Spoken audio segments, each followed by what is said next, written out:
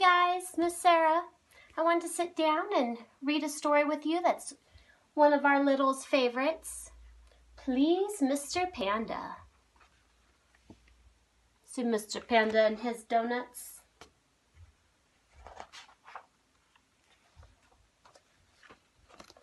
Would you like a donut? Yes, give me the pink one. No, you cannot have one. I have changed my mind.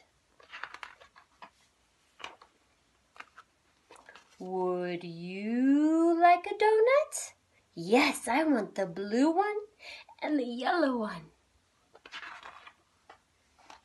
No, you cannot have one. I have changed my mind.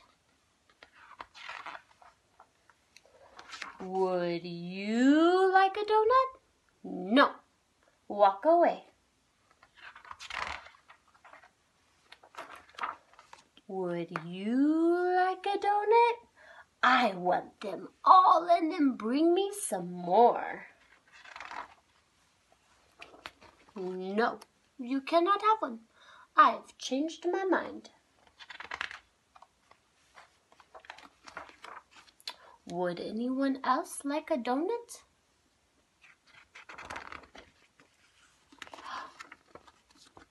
Oh, hello.